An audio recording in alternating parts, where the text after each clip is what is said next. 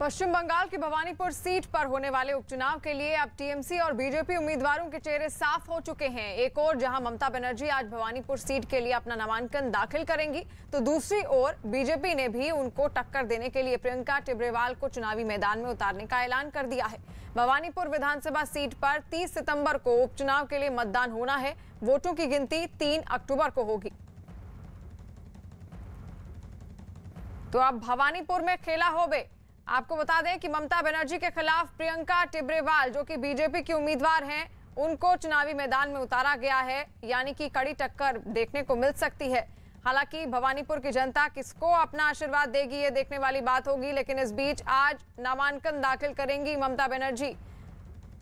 और उनके खिलाफ बीजेपी ने प्रियंका टिब्रेवाल को अब चुनावी मैदान में उतार दिया है। बड़ी खबर, बंगाल बीजेपी प्रचारकों की लिस्ट जारी कर दी गई है। दिलीप घोष, शुभेंदु अधिकारी को बड़ी ज़िम्मेदारी दी गई है। आपको बता दें, भवानीपुर सीट पर होने वाले उपचुनाव के लिए बीजेपी ने स्टार प्रचारकों की लिस्ट जारी कर दी है। न्यूज़ 18 के अमिताभ सिन्हा की खबर है कि बीजेपी की ओर से केंद्रीय मंत्री स्मृति ईरानी, हरदीप सिंह पुरी, बंगाल बीजेपी के अध्यक्ष दिलीप घोष समेत 20 स्टार प्रचारकों की लिस्ट जारी कर दी गई है।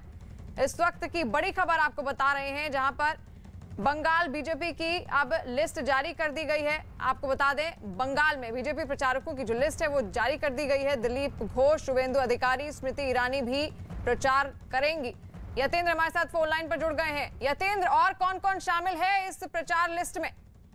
देखिए, बिल्कुल बीजेपी ने जो बाई इलेक्शन होने हैं, पश्चिम बंगाल में विधानसभा चुनावों को लेकर, उसके उसके लिए अपने स्टार प्रचारकों की लिस्ट जारी की है। कुल मिलाकर 20 लोगों की लिस्ट बनाई गई है, जिसमें तमाम जो पश्चिम बंगाल के नेता और केंद्रीय नेता उनको शामिल किया गया है, जिसमें शहनवाज हुसैन, स्मृति ईरानी मनोज तिवारी, हरदीप सिंह पुरी, इन लोगों को शामिल किया गया इसके अलावा जो वहाँ के पश्चिम बंगाल के जो बीजेपी के नेता है, उसमें वो शामिल है, लेकिन सबसे बड़ी बात है कि जो प्रभारी हैं, पश्चिम बंगाल के उसमें कैलाश विजय वर्गीय का नाम नहीं है, लेकिन जो पूर्व केंद्रीय मंत्री बाबुल सुप्रियो हैं, जो राजनीतिक कार्यक्रमों से संन्यास लेने की घोषणा कर चुके हैं, उनका नाम इसमें शामिल किया गया है। हालाँकि आमतौर पर जो प्रभारी होते हैं जब बाई इलेक्शन होता है तो कैंपेन में शायद बीजेपी की तरफ़ से बताया गया कि उनको नहीं रखा जाता, लेकिन बाकी के और कई बड़े चेहरे जो केंद्रीय स्तर के नेता हैं, बीजेपी के मंत्री हैं केंद्र में, उनको इसमें शामिल किया गया है। जी। जी तो आपको बता दें कि प्रचारकों की लिस्ट जारी कर दी गई है बीजेपी की ओर से और बंगाल में, अब भवानीपुर में खास तौर पर ज़्यादा दंगल देखने को मिलेगी, जहाँ पर ममता बनर्जी उपचुनाव लड़ेंगी भवानीपुर का और उनके सामने होंगी